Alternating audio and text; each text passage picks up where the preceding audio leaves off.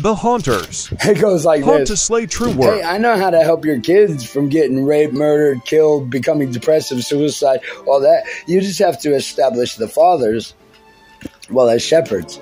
I hate him. I hate him all the time. Shut up. Shut up. You're not an apostle. Did you know that all women go to heaven? I can't stand him. They don't even get the option of the curse. He is evil. Don't listen. He's tricking you. Oh, did you also know that you can't divorce your wife without calling God a liar and hating your children and your ancestors? I say he screws kids. Speaking of kids, uh, you better bless your mothers always, or you'll go to hell. I hate him. because she gives a life offering for you. And that's how you secure your blessings here in the nation. You get your land, and God lets you live long and you prosper. You don't become poor and slave and lose dominion, like not being able to choose, touch, taste, or do, or be a chemist, or whatever you want to be by God, because that's where the great inventors come from, as God. And companies hate that stuff because their idols cannot compete one free with God. I hate him. Say he screws kids. You already said that one. Say it again. so, anyways, if your children want to be free, you just have to pick up the truth, bless your mother, and do not curse your father no matter what he's done.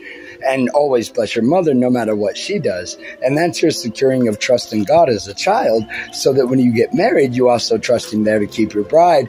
Then you teach your children the same. And so this line progresses where you literally trust God and have God made authority instead of becoming slaves with prisons and having to pay people for permission. I hate him. Say more stupid shit.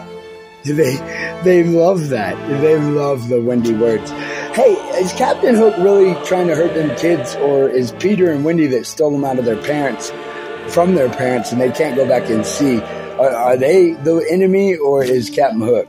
I can't stand you. No, seriously, why do you have such windy words, and why always lie, and why not teach them the Ten Commands? You don't need Ten command. You're a legalist. But y'all use man's law to destroy family, take brides, steal children, in treason to your own oath. Seventh Amendment, Fourth Amendment, arrest them with no crime to even face an accuser. So, I mean, why use all that man legal and pay people as idols, but you don't do God freedom, which commands are not a doing or it's not a legality either. I can't stand you. I can't stand you. That's how it goes for me. How's it go for you?